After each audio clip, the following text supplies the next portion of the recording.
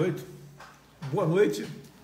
18 de outubro, uma grande data, aniversário da minha, minha filha Laura, está fazendo oito anos. Estamos em festa lá em casa. Não tem preço o aniversário de uma criança. Uma live bastante curta, né? Mas muito importante para que exatamente nos atualizemos do que está acontecendo. Ao meu lado aqui, a querida Elisângela, que é a nossa intérprete de Libras. Muito obrigado aí, bem-vinda. Eduardo Bolsonaro, o campeão de voto em São Paulo. Parabéns pelo trabalho, hein? Queria ter um pai igual a você, sabia? é um garoto, é jovem na política. Meu muito obrigado aos paulistas por essa estupenda votação que ele teve aí em São Paulo.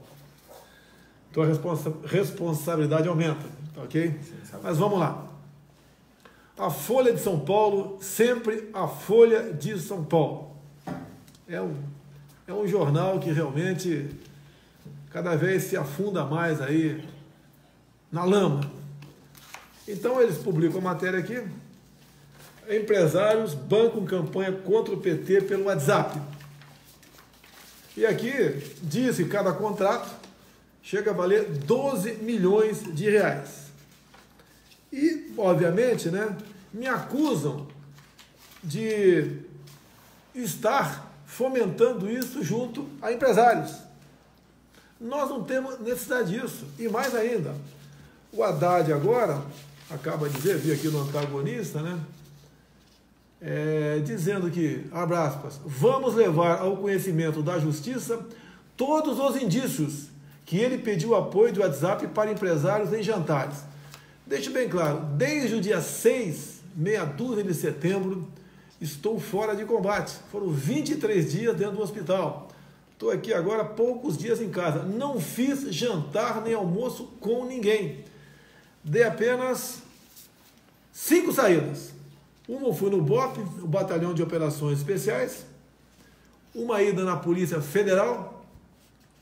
Uma ida para visitar o cardeal arcebispo do Rio de Janeiro, Dom Orani Tempesta e duas vezes eu fui no banco. Uma vez eu fui no caixa 2 do banco, por coincidência era o caixa 2 do banco. Então, história de levar indícios, não tem prova de nada. E a, e a Folha de São Paulo, para quem a gente vê aqui, jogando nesse time do Haddad. Agora, nós não precisamos de fake news para combater o Haddad. As verdades são mais do que suficientes. Afinal de contas, todos vocês se lembram de 13 anos do PT. Aí sim, Caixa 2, corrupção generalizada, assalto a estatais, quebra de fundos de pensão, doação de dinheiro do BNDES para ditaduras de todo o Brasil. Esse é o PT. Esse é o PT. Nós não precisamos fazer fake news contra eles. Eu até digo aqui, olha só, eu estava pensando que era fake news, né? Quando começou a aparecer por aí um livro, um livrinho, em defesa do socialismo de Fernando Haddad. E é verdade, o livro existe. Não inventamos esse livro aqui. Eu não vou perder tempo para ler em defesa do socialismo, que se começasse falando, olha, deu certo na Coreia do Sul, no Japão, na Itália, daí eu ia ler o livro, deu certo. Mas não deu certo em lugar nenhum no mundo. Então, não precisamos de fake news, para dizer quem é Fernando Haddad. Está aqui, ó, em defesa do socialismo. Eu fui obrigado a gastar um dinheirinho para comprar essa, esse lixo aqui, esse lixo aqui, né, que tinha estar com luvas aqui para folhear. Não vou ler, que não vou perder meu tempo. Está aqui, ó, eleitores brasileiros e brasileiras em defesa do socialismo. Mas, agora vamos lá. Os fake news do Haddad contra mim dizendo que eu vou acabar com o Ministério da Educação. Baseado em quê? Eu vou acabar com o Ministério da Educação? Baseado em quê? Eles publicam isso, bota aí na, nas televisões, bota na, na rede WhatsApp, e daí eu tenho que me explicar. Isso é coisa de canalha. Só um canalha para fazer isso, é um vagabundo, canalha. Diz que eu vou liberar caça no Brasil. Aquele vídeo editado era caça a um javali que destrói plantações, que mata a gente, que é uma praga no campo. Tem estado já liberou isso aí, é liberar caça ao javali. E ponto final. Não temos como conviver com o javali. Eu não sei quantos cada um É que o javali, na verdade, ele não é, não é uma espécie própria do Brasil, ele invade as terras, ele transmite doença, além de detonar com a lavoura, ele ainda contamina a nascente e não tem predadores naturais. É como se fosse um rato gigante. Só que quem é que pode fazer o controle dele? Única e exclusivamente os caçadores. Então, se não forem os caçadores, isso daí vai acabar desaguando para todo mundo, porque o preço do alimento vai subir e, obviamente, o fazendeiro não vai ficar feliz em ver a sua lavoura toda destruída. Alguns falam em castração. Não tem como castrar. A velocidade de procriação é enorme. Eu não sei. Dá três Eu acho que ano. três crias por ano, 50, um caso, uma, uma fêmea dá 50 filhotes por ano. Isso é uma progressão geométrica. Dizem que eu quero liberar caça no Brasil. Isso é coisa de canalha, sem vergonha, vagabundo, disseminar isso aí. Vou proibir videogame. Pô, querendo jogar a garotada contra mim. Onde é que eu falei que vou proibir videogame? Mais uma mentira desse partideco que não existiria se não mentisse para a população. Eu vou implementar o ensino à distância, acabando aqui com o quadro de professores, merendeiras e outra coisa a mais. O ensino à distância que eu estudei é para as comunidades rurais, no, na fazenda, onde porventura tenha sinal de internet, a garotada, em vez de viajar 20, 30 quilômetros, já chega cansado, volta cansada para casa, não aprende nada. Vê se é possível levar esse ensino às vezes para essa garotada. Até porque a preocupação deles é grande, porque existem duas mil escolas, rurais do MST. São 200 mil alunos, ditos sem terrinhas onde não canto o hino nacional, canto a Internacional Socialista ou a canção do MST. A bandeira que as tenho não é verde e amarela, é vermelha, com o símbolo do MST e por vezes com uma foice e um martelo. Eles estão com medo disso. Se eu chegar lá, nós vamos atacar, porque nós, essa questão, nós queremos salvar essa garotada. Ensino o tempo todo nas escolinhas que o capitalismo é inferno, o socialismo é o paraíso. Ensino tudo que não presta. Formo mais que militantes, estão formando guerrilheiros aos milhares por ano. Por ano ensinam que eles não têm futuro, têm problemas, tendo em vista o fazendeiro do teu lado, que tem que ter a terra invadida. E nós, vocês sabem disso, Vamos tentar, junto ao parlamento, acredito que tenhamos apoio para isso, dado os contatos que fizemos até agora. Vamos tipificar como terrorismo qualquer invasão de terra, qualquer propriedade privada. Invadiu tua casa, teu apartamento, tua chácara, tua fazenda. Isso é terrorismo, ponto final.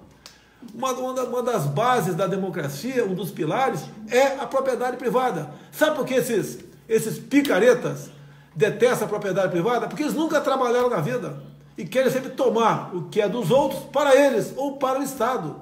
Vamos jogar pesado nessa questão. Não existe implementação do ensino à distância nessa parte pelo Brasil, a não ser nessas comunidades isoladas rurais, onde o garoto, uma menino e a menina, vai ter que ter o direito, né, com o entendimento dos pais, se tiver sinal de internet ali, aprender alguma coisa assim. Caso contrário, não aprende nada. Porque um dia falta gasolina na, no carro, no outro dia não tem carro, no dia não tem motorista. Ele não aprende quando vai, chega cansado na escola e volta mais cansado para casa ainda. E muitas vezes o pai não quer deixar o filho viajar de carro, tendo visto o risco de acidente. O ensino à distância é para essa garotada. E também para acabar com esse monopólio das escolas do sem terrinha. Essa é a preocupação deles. Diz que eu vou botar aqui o Frota na, na cultura. Ah, pelo amor de Deus. Fiz um vídeo brincando com ele ano passado, esse tio, né, galhofa, brincando com ele, tá certo? E daí vou botar o Frota. Nem o Frota quer. E, não, e cadê a questão do Ministério da Cultura? Nós temos que moralizar a Lei Rouanet. Ficou sendo o Ministério da Lei Rouanet, onde quem apoia o governo tem lá recursos milionários para atender os seus projetos. Não interessa qual seja. Não interessa qual seja e nós sabemos quem são essas figuras. Vamos fazer uma auditoria, quem sabe uma CPI. Aí depende do parlamento, né? Não vai faltar gente nossa interessada nessa questão. Fazer uma CPI para apurar sim esse dinheiro, em vez de ir para o artista, né, que está começando a sua carreira, aquele que, que, é, que, que faz aí a canção aí, né, que é rural aí, o sertanejo, a cultura afro que nós temos no Brasil bastante repente, quem está começando, vai para esses figurões. 600 mil, 700 mil, 1 milhão, 5 milhões para esses caras. Enquanto para esse artista está começando, muitas vezes 40, 50 mil reais é mais do que o suficiente para ele alavancar a sua carreira e ser alguém na vida. Então, Ministério da Cultura é lei Rouanet e vamos preservar a cultura brasileira. Diz aqui que Bolsonaro empregaria mulher com um salário inferior de homens. Está na CLT que isso não existe. Onde é que eu falei isso? Falei no programa da Luciana Gimenez que o salário tem a ver com competência da pessoa. Não interessa se é homem ou se é mulher. Ninguém vai pagar mais para um homem e menos para a mulher se o homem, por exemplo, não souber fazer a coisa bem feita com a mulher, por exemplo, está preparada para fazê-la. É o tempo todo mentira em cima de mentira. Isso é coisa de canalha. E nós sabemos o que esse partido é capaz de fazer. Falam também que eu vou acabar com o 13 terceiro. Nem vou discutir. Está lá no artigo 7 da Constituição Cláusula Pétrea. Onde é? Me, me aponte um áudio, um vídeo meu falando sobre isso aí. Bolsa Família, a mesma coisa. Fica pegando os mais humildes e dizendo o tempo todo que vai acabar com Bolsa Família. São canalhas. Nada mais do que canalhas. Votou contra a lei da inclusão a pessoas deficientes. O TSE mandou retirar isso. A votação, você pode explicar, foi simbólica. Ninguém votou, votou dentro do painel. Quer explicar é. rapidinho aqui? O que nós votamos contrário foi a um destaque do texto que queria colocar, mesmo dentro da Lei Brasileira de Inclusão, as palavras orientação sexual e temas sobre ideologia de gênero. Esse pessoal é tão doente mental que até quando você vai tratar dos deficientes, eles não têm compaixão. Querem atochar a matéria de ideologia de gênero, orientação sexual, até nisso daí. E obviamente que a gente se contrapôs é uma lei que se trata, trata dos deficientes. Não pode vir um jabuti sobre sexualidade e ser atochado lá no final do texto. Agora, como o Jair Bolsonaro falou, a aprovação desse projeto de lei, o texto dele, foi unânime. Ninguém votou contrário. E quem começou com essa fake news foi a mãe do Gregório do Vivier, a qual também estou estudando processá-la. Ela chegou a retirar o post, mas o print é eterno. Pode ver, né? Aqui, ó, Plano Nacional de Promoção e Cidadania LGBT. Não tenho nada contra gays. Vários gays gravaram comigo agora. Agora, isso daqui faz parte daquele programa que é chamado com kit gay, podia chamar de outro nome, do Haddad, do Ministério da, da Educação. Mas não é por aí. Eu acho que esse assunto está encerrado. Não tem mais essa história de gay, hétero. É, nós vamos fazer um governo para todo mundo e cada um vai ser feliz da maneira que achar melhor. Digo mais, outros, né? Fake news vão aparecer. Nós estamos fazendo o possível, denunciando, indo no TSE, buscando tirar do ar, mas quando tira do ar, já tem três, quatro dias que falar. Então o PT é isso. A, a, mentira é a cara do PT. Deixa o claro aqui. Hoje fui, eu fui aqui submetido a patria de teste, o médico da, do Roberto Reis, Alberto Reis que, que, que teve aqui em casa aqui me investigando, me, me analisando aqui, tá certo? Me deram assim, apto com restrição. Ó, deputado, nós não recomendamos que o senhor faça um esforço prolongado. Tá? Se fizer, pode ter um problema com a tua. Porque eu estou com a bolsa aqui do lado aqui, para não, não, ter dúvida. Tá? Você sabe que tem aqui dentro, né? Tá? 35 pontos aqui. Não é sinusite, não. Toquei Haddad. Por causa de sinusite, foi isso? O Haddad. Rinite. Rinite. Por causa de rinite, ele pegou sete dias de dispensa quando era prefeito é, de São Paulo. Tá? E outra coisa, essa facada que eu levei aqui, do tal de Adélio, até 2014 ele estava afiliado ao PSOL. Desde que o PSOL existiu, ele se filiou ao PSOL e se desfiliou apenas em 2014. Então é mais um indício para mostrar aqui que tem tudo para ser político essa tentativa de assassinato. E olha só, agora, se por, exemplo, o pessoal quer que eu vá a debate, tá? Eu posso ter um problema aqui com a, com a bolsa de colostomia. Tá? Posso ter que voltar ao hospital. Para debater com um poste. Ele, ele vai falar, eu vou botar no ministério tal, tal pessoa. Ele não vai botar nada, vai botar é o Lula. Ele vai botar é o Lula. Quem vai botar é o Lula, mais ninguém. Agora, se porventura eu desistir agora de uma campanha, que não vou desistir, ou vier a morrer, segundo a nossa Constituição, se eu morrer agora, assassinado, né, por uma facada, por um tiro de, de sniper, seja o que for, que, que vai acontecer? O terceiro classificado vem disputar com o segundo. Então teremos o segundo turno Haddad e Ciro. Inclusive, eu iria para São Paulo no dia de hoje, mas fui recomendado, questão de estratégia, segurança, não ir, porque ao pousar em São Paulo eu teria um deslocamento, poderia sofrer um atentado. Isso seria o ideal para esses que estão aí. Olha, a segunda pessoa morre agora que frequentava lá a pensão onde o Adélio esteve alojado. Na primeira semana morreu a dona da pensão. Daí falava, não, ela estava com problema de saúde. Nós não vamos forçar a barra. Vamos supor que esteja. Agora, uma segunda pessoa da pensão amanhece morta.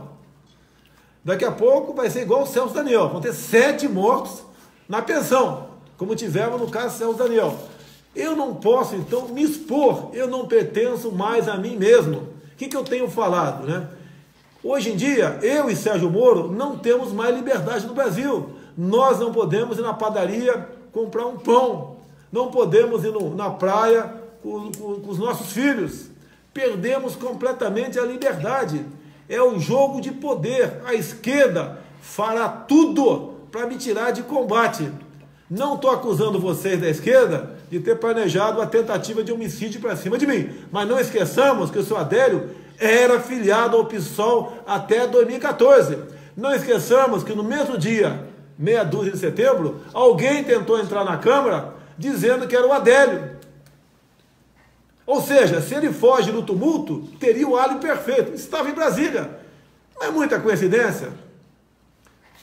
Vamos em frente aqui. Falar da minha aqui? Quer falar a tua rapidinho? É, hoje, de manhã, hoje cedo também, né?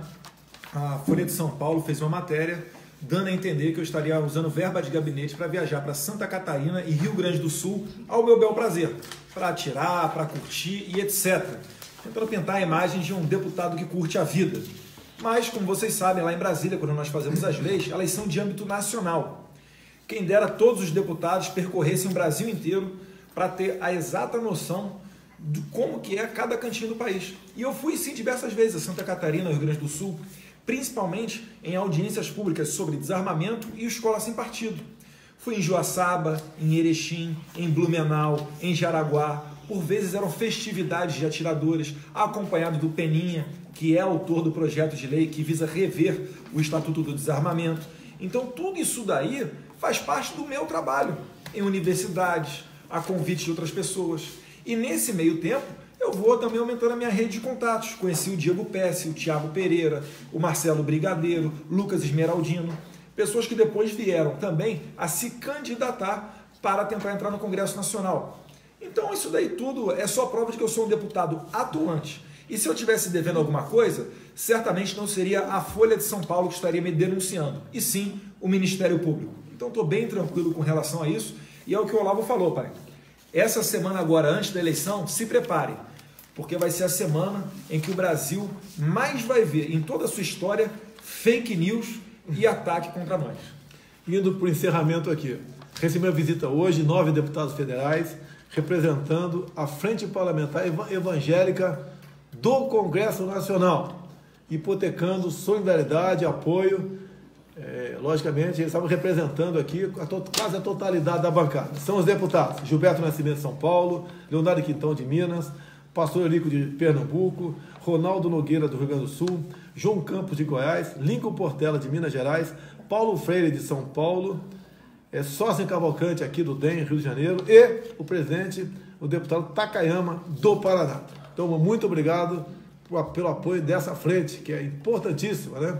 E conta com centenas de parlamentares. Assim como já tivemos o apoio da Frente Parlamentar da Agricultura, também é da Frente Parlamentar é, da, da segurança pública, que cresceu muito essa bancada agora.